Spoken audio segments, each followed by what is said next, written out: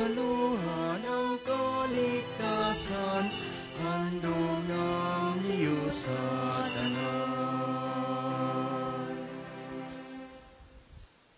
Sa ngala ng Ama, ng Anak at ng Espiritu Santo. Amen. Ang pagpapala ng ating Panginoong Yesu Kristo, ang pag-ibig ng Diyos Ama at ang pakikipagkaisa ng Espiritu Santo naway sumaingong lahat. At sumainyo rin. Tayo'y natitipon, nagbubuklod sa araw na ito upang gunitain natin ang pagdiriwang ating ginugunita si San Carlos Suwanga at ang kanyang mga kasama. Sila yung mga martir na nag-alay ng kanilang buhay para sa pananampalataya, para sa pag-ibig sa Diyos.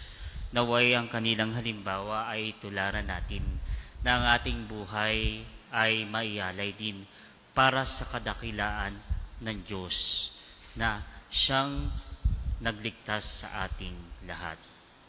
Sa pag-aalay ng banal na misang ito, ating itaas sa Diyos ang mga nag-alay ng kanilang pamisa. At gayon din ang ating mga natatanging pagsusumamo at pagsusumamo ng mga taong ipinangako nating panalangin. At gayon din para sa lahat ng mga kaluluwa sa purgatorio. Sa katahimikan nating ibulong ito sa Diyos.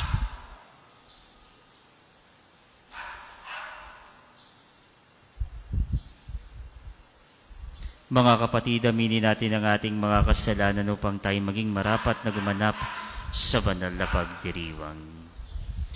Inaamin ko sa, Sa makapangyarihang makapangyarihang Diyos at sa inyong mga kapatid na lubha kong nagkasala sa isip, sa salita at sa gawa at sa aking pagkukulang. Kaya sinasamo ko sa mahal na Berheng Maria, sa lahat ng mga anghel at mga banal, at sa inyo mga kapatid na ako'y panalangin sa Panginoong ating Diyos.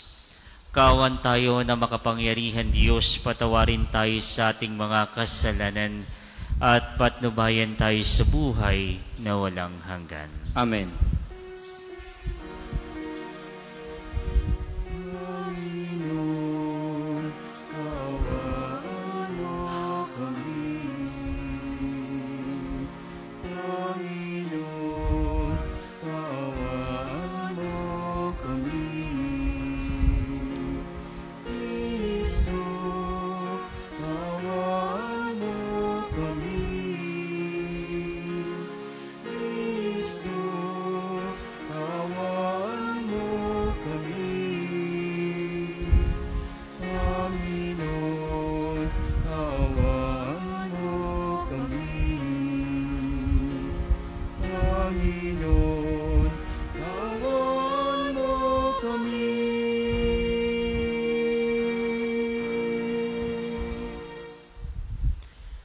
Manalangin tayo. Ama naming makapangyarihan, ginawa mong umusbong ang lalong marami pang Kristiyano mula sa dugong dumanak sa mga martir. Ipagkalob mo ang iyong pinagpupunlaang simbahan ay masaganang mapag-anihan mula sa dugong dumanak dito na galing kina San Carlos, Luanga at mga kasama sa pamagitan ni Yesu Kristo kasama ng Espiritu Santo magpa sa walang hanggan. Amen.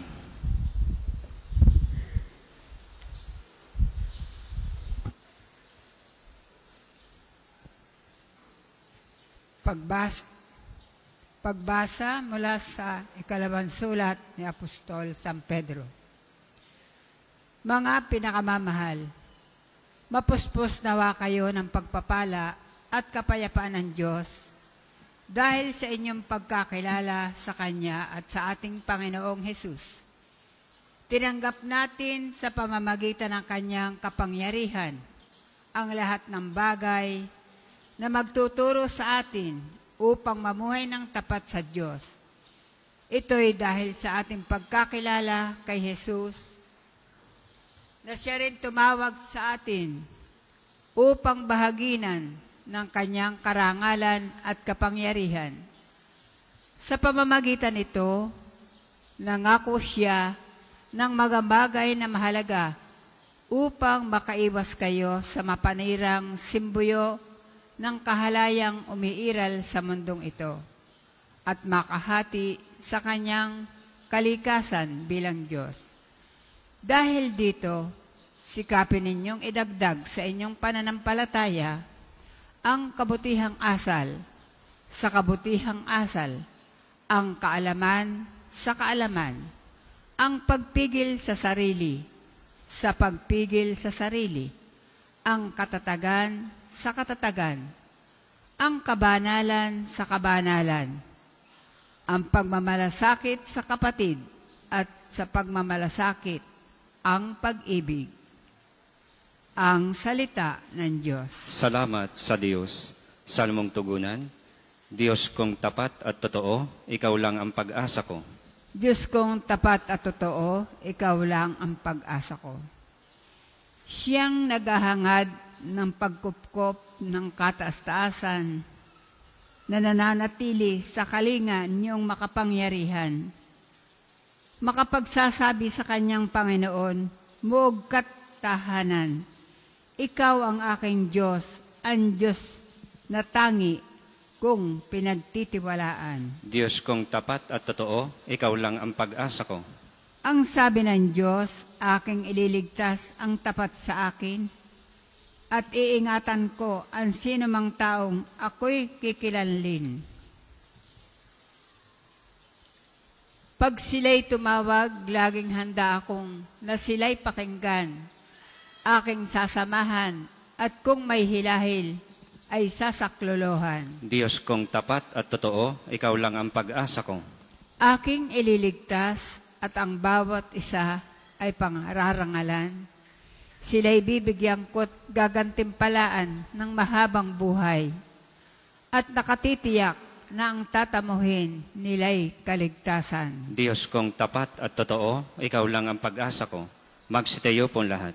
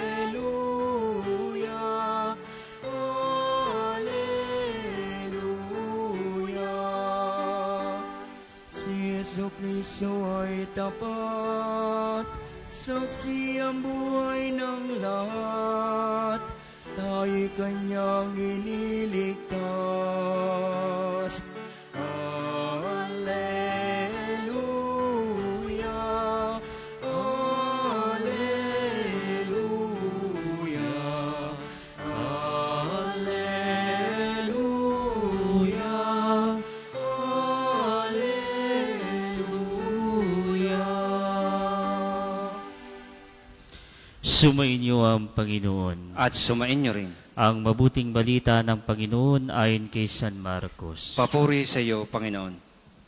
Noong panahong iyon, sinimulang, nagsimulang magsalita si Jesus sa mga punong saserdote, mga iskriba at matatanda ng bayan sa pamagitan ng mga talinghaga. Sinabi niya, may isang taong nagtanim ng ubas sa kanyang bukid.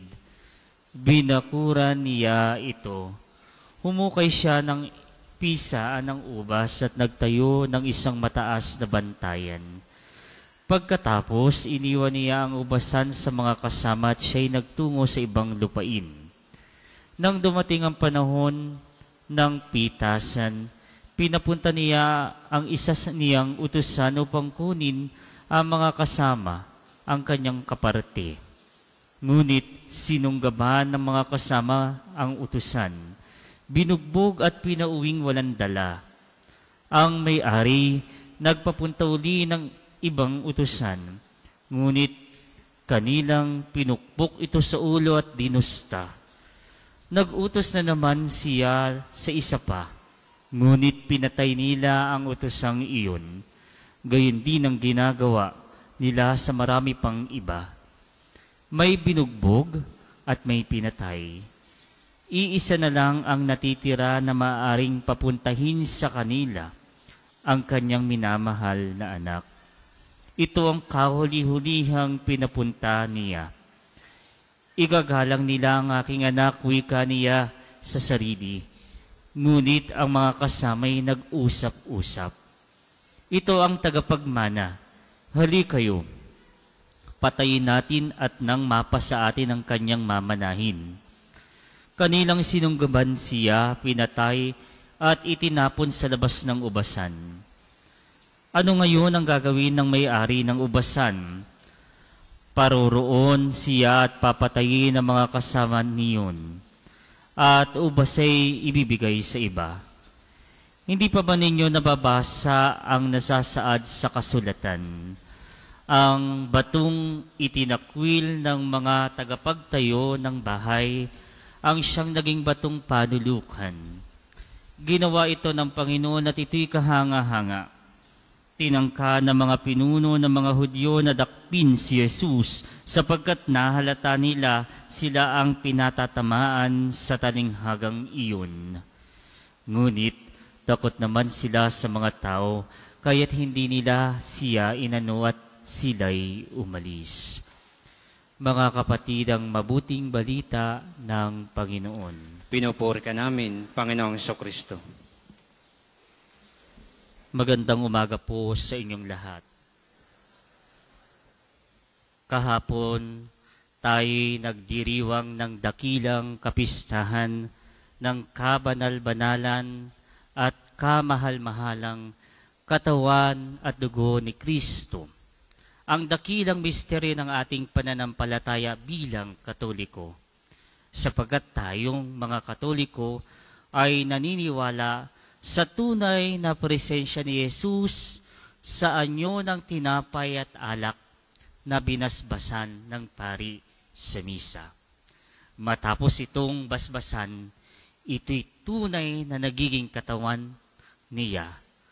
Body and blood, soul and divinity of our Lord Jesus Christ. Tunay na naroroon si Kristo. Yun ang pinahahayag natin kahapon at pinagdiriwang ang dakilang misteryong ito na nagdulot ng kaligtasan sa ating lahat na nalugmok sa pagkakasala, nalugmok sa kamatayan dulot ng pagkakasala ng sangkatauhan. At ang sakramento ng Eukaristiya na ito ay patuloy nating nararanasan at natatanggap sa tuwing tayo dumadalo ng misa, patuloy nating tinatanggap ang kaligtasang handog ni Jesus. Inalay, inihandog niya ang kanyang katawan at dugo na tanging kalugod-lugod na pag-aalay sa Diyos Ama para sa ikapagpapatawad, ikaliligtas ng sangkatauhan. Yan po yung pagdiriwang natin kahapon, kaya natin ito'y mahalagang pagdiriwang na laking pagdiriwang ng simbahang katolika sa buong mundo. At ngayon sa Ebanghelyo, napakinggan natin ang talinghaga ni Jesus na ang amo ay patuloy na nagpapadalawa ng utusan ng manggagawa sa mga iniwan at pinagkatiwalaan niyang mga laga sa ubasan. Ngunit ang lahat ng utusan na kanyang pinadala ay pinatay, sinaktan, at itinapon. Ito ay tanda ng talinghaga na ito ay nagpapaalala sa ating lahat na ang Diyos ay hindi nagsasawang magmahal, mamangalaga at magpaalala sa ating lahat sapagkat ang tanging nais ng Diyos ay tayo magkamit ng buhay na walang hanggan magkamit ng kaligayahang ang langit lamang ang makapagbibigay, hindi ang mundong ito. Ano ang mga senyalis na ito at tanda na patuloy tayong minamahal ng Diyos, hindi siya nagsasawa. Patuloy siyang gumagawa at gumagawa ng gawaing pagliligtas para sa ating lahat. Ito po'y makikita natin sa katauhan ng simbahan.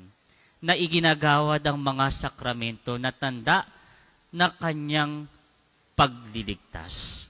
Ang mga sakramento, gaya ng sakramento ng kumpisal, patuloy siyang nagliligtas sa atin sa pamamagitan ng pagpapatawad sa ating mga kasalanan. Sa banal na misa, tinatanggap natin ang kanyang kabanal-banalang katawan at dugo. Sa ating pagtanggap ng kanyang kabanal-banalang katawan, ay tinatanggap natin ang patuloy at paulit-ulit niyang pagliligtas sa ating lahat.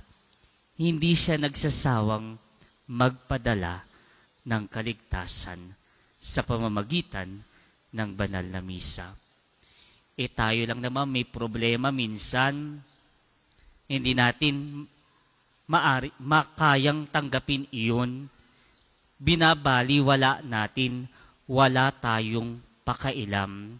Sapagkat hindi natin nakikita sa ngayon yung pakinabang natin sa tinatanggap natin, yung benefit, because it's an invisible benefit, iyon ay makalangit na pakikinabang natin ang buhay na walang hanggan sa tuwing natin tinatanggap ang kanyang katawang at dugo.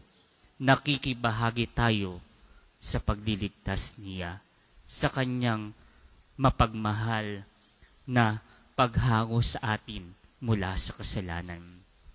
Wala tayong pakialam. Parang ang mga manggagawang nakabantay sa ubasan, walang pakialam. Inihain na itinapon at sinaktan pa. Gayon din tayo minsan, naririto na ang mga sakramentong nasa simbahan, kumpisal, banal na misa. Pero, wala tayong gana minsang tanggapin sapagkat hindi natin nauunawaan ang higit na dulot na to sa ating kaluluwa at buhay na walang hanggan. Gaya ng ating pinagdiwang kahapon, ipinagdidiinan niyon ang katawan at dugo ni Kristo na siyang magdudulot sa ating lahat ng buhay na walang hanggan. Ngayon ay pinagdiriwang natin ang paggunita kay San Carlos Luanga at sa kanyang mga kasama. St. Charles Luanga and his companion. Sila'y mga taga-Uganda, Africa. Mga martir namatay at nag-alay ng kanilang buhay para sa pananampalataya at pag-ibig sa Diyos. Tinularan nila ang pag-aalay ng pag-aalay ng buhay ni Jesus para sa ating lahat. Tinularan nila ito sa pamamagitan ng pag-alay ng kanilang buhay. At ang kanilang dugo ay naging sanhi at binhi ng paglago ng pananampalatayang Kristiyano. Sapagkat ang kanilang kamatayan ay buhay na saksi na mayroong Diyos. Buhay na saksi na naririto si Kristo, na nanatili sa atin sa mga sakramento, lalong-lalo na sa banal na misa at Eucharistia, na nagliligtas sa ating lahat.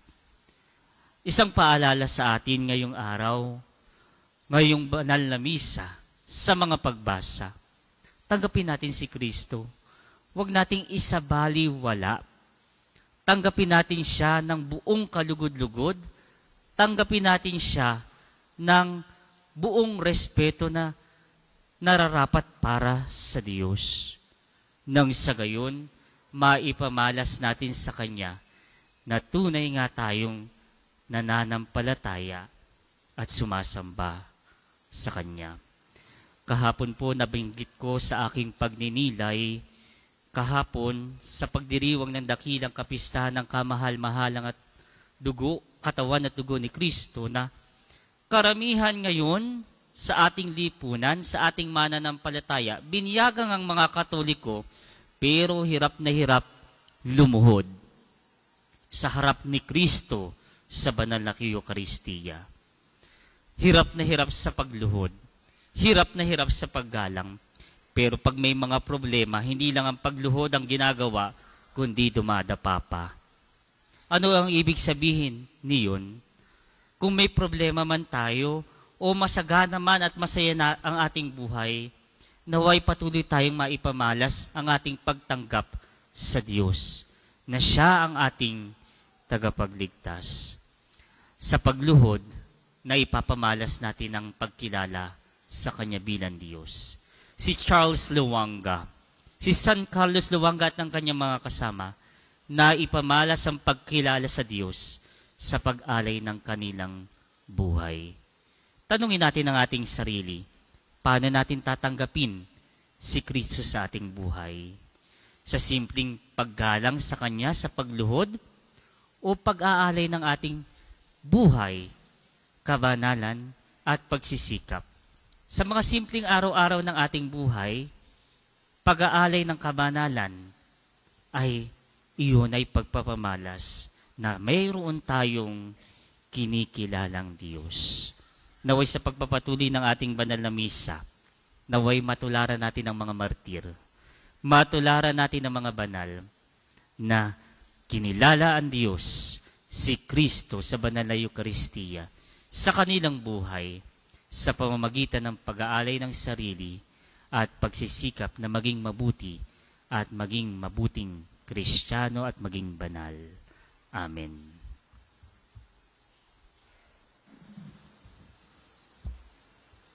Para po sa mga maghahandog ng sobre, pakihulog na lang po sa buslo.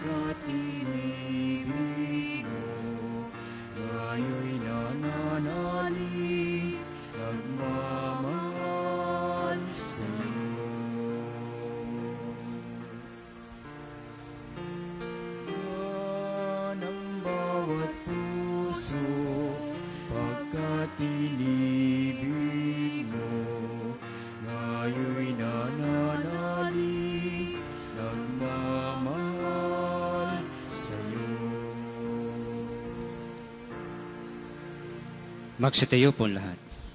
Manalangin kayo mga kapatid upang ang paghahain natin ay kalugdan ng Diyos amang makapangyarihan.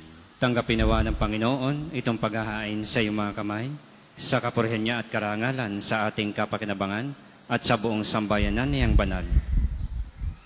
Ama naming lumikha, kaming naghahain ng mga alay ay nagsusumamo na maganap nawa namin ang paglilingkod na ito, katulad ng mga martir na ginawaran mo ng kakayanan, na mamatay kaysa ikaw ay talikdan.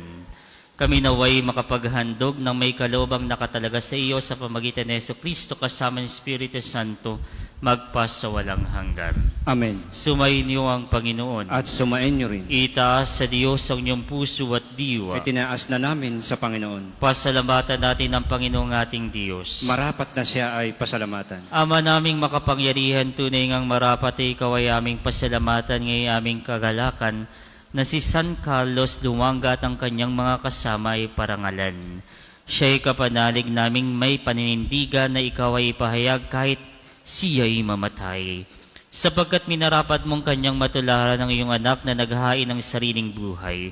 Tulad ng naganap sa iyong anak, ang dugo ng mga martir ay dumanak hindi dahil sa katatagang likas, kundi dahil sa iyong bigay na lakas. Kaya kaisa ng mga anghel na nagsisiyawit ng papuri sa iyo ng walang umpay sa kalangitan, kami nagbubuni sa iyong kadakilaan.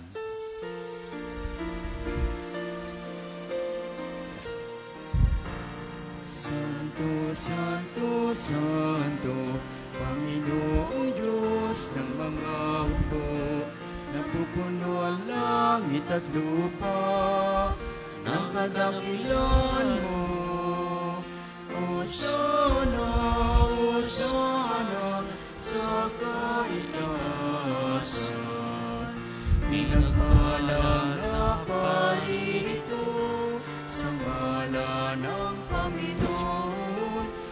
sa ngala ng Panginoon. O Osana, Osana, sa kaitaasan.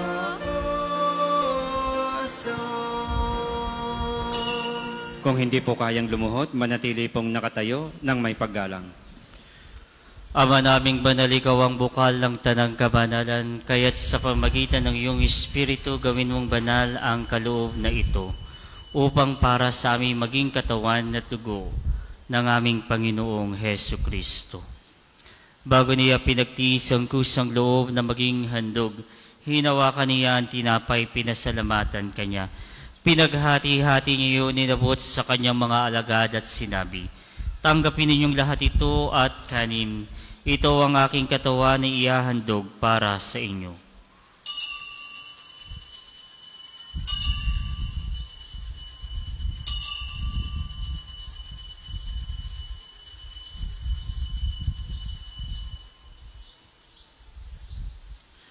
Gayon din naman nung matapos ang hapunan, hinawakan niya ang kalis, muli kanyang pinasalamatan. Inabot niya ang kalis sa kanyang mga alagad at sinabi, Tanggapin ninyong lahat ito at inumin ito ang kalis ng aking dugo, ng bago at walang hanggang tipan. Ang aking dugo na ibubuhos para sa inyo at para sa lahat sa kapagpapatawad ng mga kasalanan. Gawin niyo ito sa pag-alaala sa akin.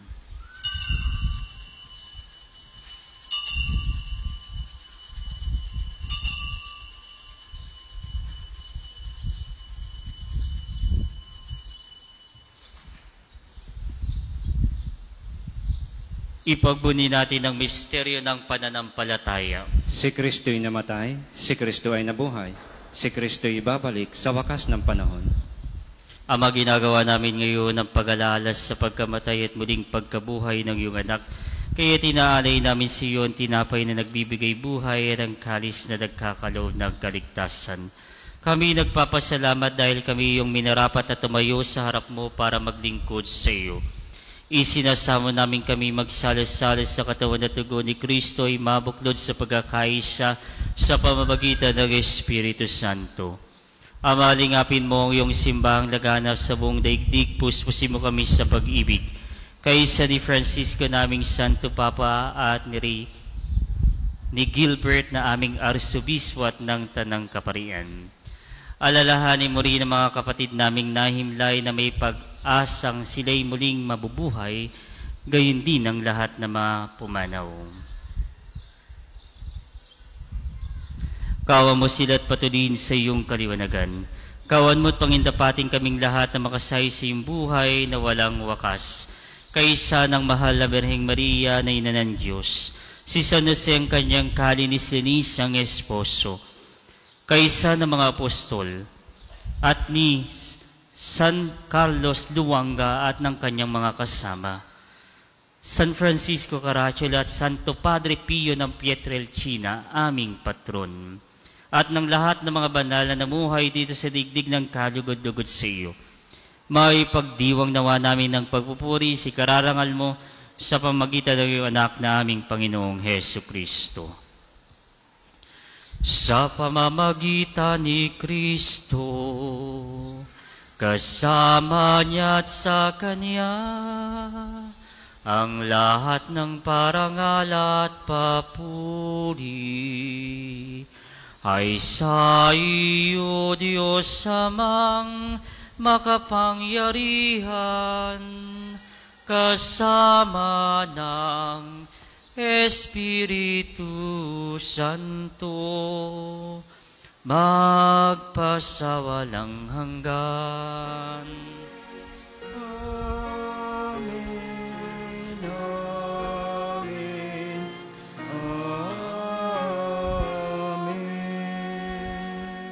Sa tagubili na nakakagaling na utos sa turo ni Jesus na Panginoon natin at Diyos, ipahayag natin ng lakas loob.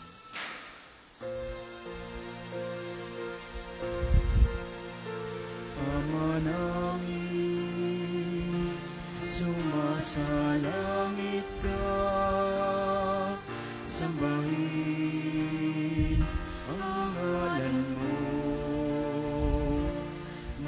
pa sa amin ang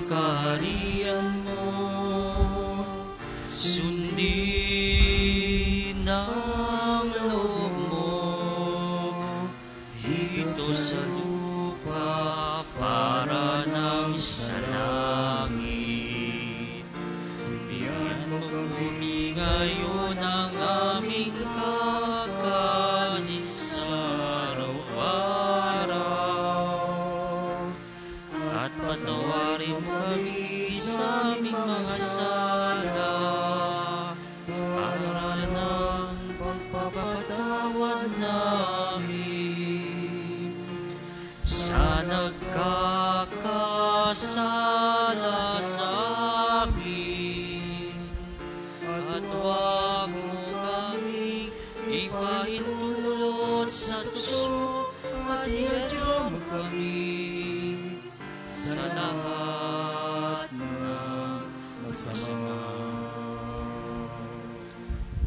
Hinihiling namin kami yadya sa lahat ng masama pagkaluban ng kapayapaan araw-araw, iligtas sa kasalanan at ilayo sa lahat ng kapamakan. Samantalang aming pinananabikan na dakilang araw ng pagpapahayag ng tagapagligtas naming si Yesu Kristo. Sapagkat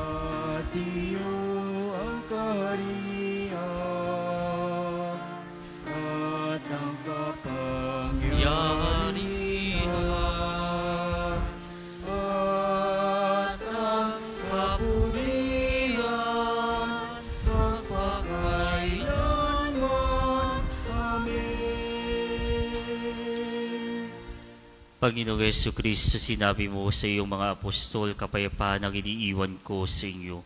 Ang aking kapayapaan ang binibigay ko sa inyo. Tunghayan mo ang aming pananampalataya at huwag ang aming pagkakasala. Pagkalaban mo kami ng kapayapaan at pagkakaisayon sa iyong kalooban, kasama ng Espiritu Santo magpasawalang hanggan. Amen. Ang kapayapaan ng Panginoon ay laging sumainyo. At sumain niyo rin. Magbigayan kayo ng kapayapaan sa isa't isa. Kordero ng Diyos na nag-aalis ng mga kasalanan ng sanlibutan, maawa ka sa amin. Kordero ng Diyos na nag-aalis ng mga kasalanan ng sanlibutan, maawa ka sa amin. Kordero ng Diyos na nag-aalis ng mga kasalanan ng sanlibutan, ipagkaloob mo sa amin ang kapayapaan. Kung hindi po kayang lumuhod, manatili pong nakatayo ng may paggalang.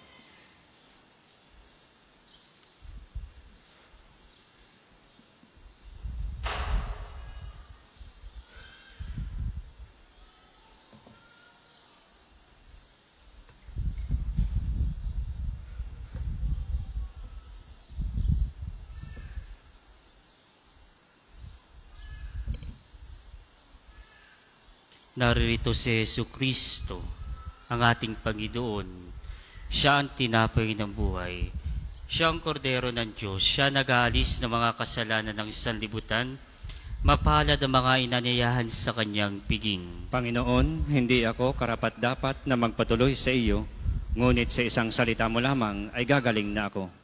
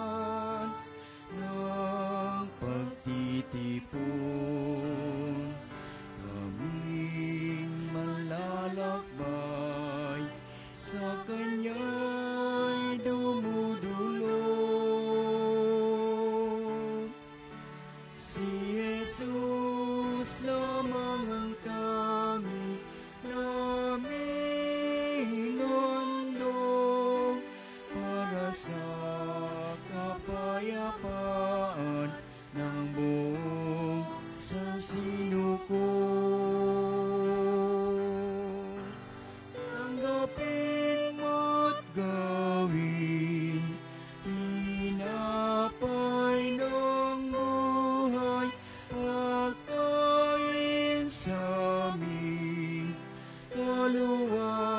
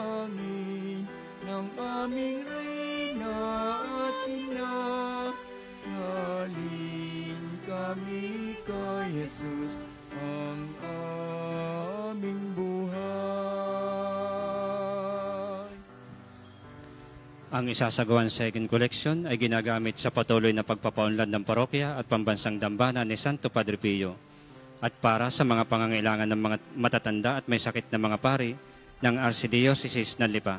Salamat po sa inyong handog.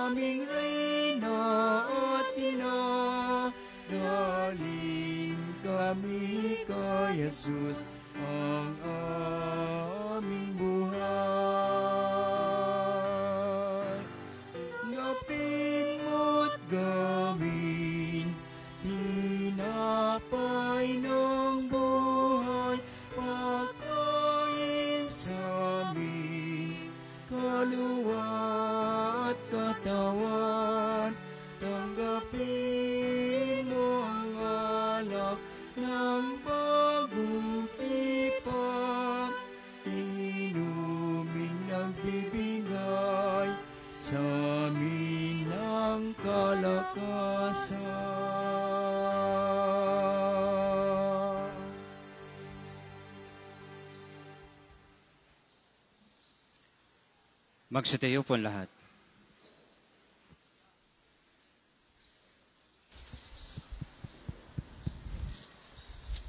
Manalangin tayo. Ama naming mapagmahal, ngayon napagsaluhan namin na namin ang banal na pakikinabang sa paggunita sa mga martir na hindi na igupo ng kamatayan. Kami nagsusumamo na, na nagdulot sa kanila ng paninindigang magtiis ay magbigay dinawa sa amin ng pananampalataya at pag-ibig sa gitna ng mga dapat pagtiisan dito sa daigdig. Sa pamagitan ni Yesu Kristo kasama ng Espiritu Santo magpasawalang hanggan. Amen. Panalangin ng pagtitiwala kay Santo Padre Pio. Padre Pio, taga Petrelcina, Monghing Banal, Pintakasing Santo ng milenyong kasalukuyan, gabay namin sa pagtahak sa landasing makalangit, takbuhan sa pangangailangan, huwaran ng pagtitiis. Sa iyo namin inilalapit aming mga kagipitan, sa iyo po binibilin kalusugan at kabuhayan. Banggitin ng tahimik ang mga personal na kahilingan.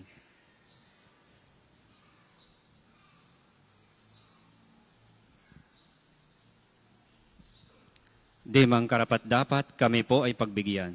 Bendisyonan at basbasan, maging ganap sa buhay. Lumayo nawa kami, umiwas sa kasalanan. Lumapit lagi sa Diyos, maging matatag at matibay. Sa mabuting balita ng pagliligtas, turuan mo kami nawa. Sa tuwi na ay makinig, magnilay at sumampalataya. Amin pong pakiusap itong mga kahilingan. Puso ay nagsisisi, nagtitikang taimtiman. Di na muling magkasala, sunod lagi sa Diyos Amang, kaisa ng Espiritu at ni Jesus na tagapamagitan. Amen. Ang lahat po'y magsiupo para sa mga patalastas. Una, sa inyong pagdalaw sa pambansang dambana, mangyaring pakaingatan ang inyong mga personal na gamit. Hangad namin ang isang matiwasay at maayos na pagbisita sa National Shrine. Ikalawa, sa pagnanais nating palawakin ang dokumentasyon at datos ng mga pilgrims and devotees na bumibisita sa pambansang dambana, kami po ay nag-aanyaya sa inyong lahat na makilahok sa ginagawang pagkalap ng impormasyon na makakatulong sa pagpapaunlad ng ating turismong pangsimbahan. Makikisuyo po kami na pakiscan ng QR code na inyong makikita sa paligid ng simbahan at pakikumpleto ng mga impormasyong kinakailangan. Makakaasa po kayo sa aming pag-iingat ng private information na inyong ibabahagi bilang pagsunod sa batas ng Data Privacy Act of 2012. Ang inyong pakikiisa ay malaking tulong at susi sa tagumpay ng proyektong ito.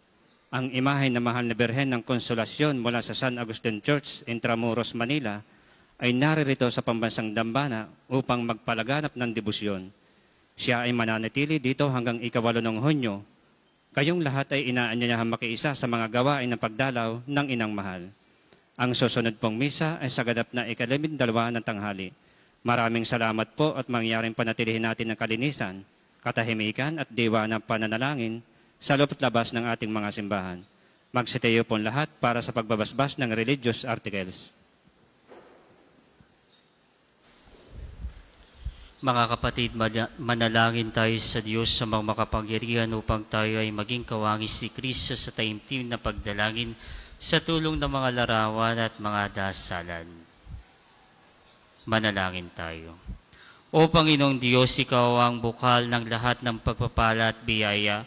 Ibuhos mo ang iyong bendisyon sa mga gamit na ito sa pananalangin. Mga rosaryo ng mahal na Birheng Maria, imahin ng mga banal, mga dasalan na nagpapaala ng iyong kabutihan, kabanalan at pagmamahal sa amin upang ang lahat ng dumulog at magdasal gamit ang mga ito ay magtamo ng iyong awa at biyaya. Luwin mong tularan nilang mga kabanalan at aral ng Panginoon at ng mga santo, magpa sa walang hanggan. Amen. Ama namin, sumasalangit ka, sambahin ang ngalan mo. Mapa amin ang kaharian mo, sundin ang loob mo dito sa lupa para nang sa langit. Bigyan mo kami ngayon ng aming kakanin sa araw-araw at patawarin mo kami sa aming mga sala para nang pagpapatawad namin sa mga nagkakasala sa amin. At huwag mo kaming ipahintulot sa tukso at iadya mo kami sa lahat na masama. Amen. Aba, Ginoong Maria, napupuno ka ng grasya. Ang Panginoong Diyos ay sumasa iyo. Bukod kang pinagpala sa babaeng lahat, at pinagpala naman ng iyong anak na si Jesus. Santa Maria, Ina ng Diyos, ipanalangin mo kaming makasalanan, ngayon at kung kami mamamatay. Amen. Ama namin, sumasalangit ka, sambahin ang ngalan mo, mapasa amin ang kaharian mo, sundin ang loob mo dito sa lupa para nang sa langit. Bigyan mo kami ngayon ng aming kakanin sa araw-araw at patawarin mo kami sa aming mga sala para nang pagpapatawad namin sa mga nagkakasala sa amin. At huwag mo kaming ipahintulot sa tukso at iadya mo kami sa lahat ng masama. Amen. Aba, Ginoong Maria, napupuno ka ng grasya, ang Panginoong Diyos ay sumasa iyo. Bukod kang pinagpala sa babaeng lahat, at pinagpala naman ng iyong anak na si Jesus. Santa Maria, Ina ng Diyos, ipanalangin mo kaming makasalanan, ngayon at kung kami mamamatay. Amen. Luwalhati sa Ama, sa Anak at sa Espiritu Santo, kapara nung una, ngayon at magpasawalang hanggan. Amen. Luwalhati sa Ama, sa Anak at sa Espiritu Santo, kapara nung una, ngayon at magpasawalang hanggan. Amen. Luwalhati sa Ama, sa Anak at sa Espiritu Santo, kapara nung una, ngayon at magpasawalang hanggan. Amen. Sumainiwa ang Panginoon. At sumain nyo rin.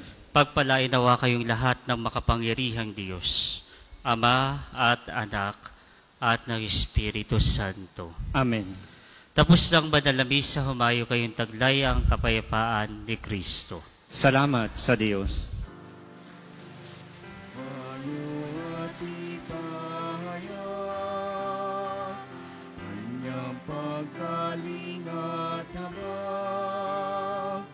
sa buhay, pag-ibig at katanungan, tanda ng Kanya.